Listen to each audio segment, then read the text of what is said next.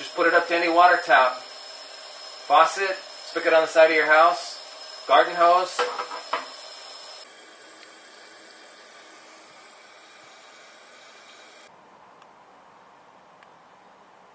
Even the tub.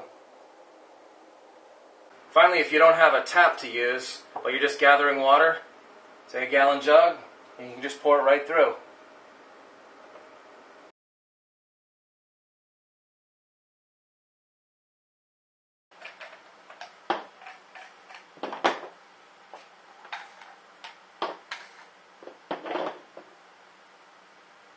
Alright, super easy to put together.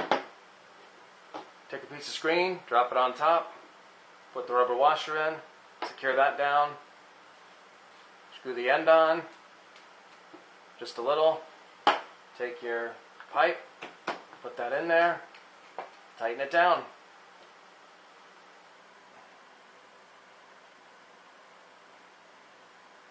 Now all you do is add the rinsed activated carbon in the cylinder.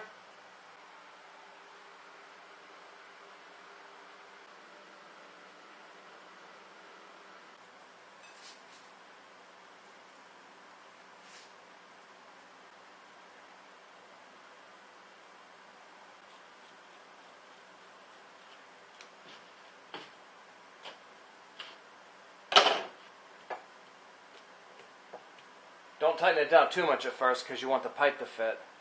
About like that. And then tighten it up.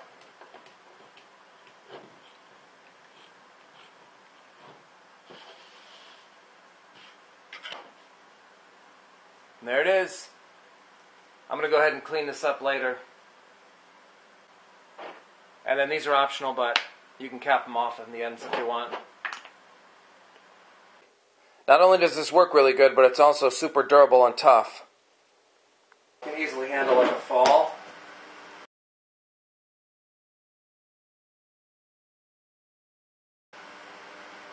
Or even run over by a car.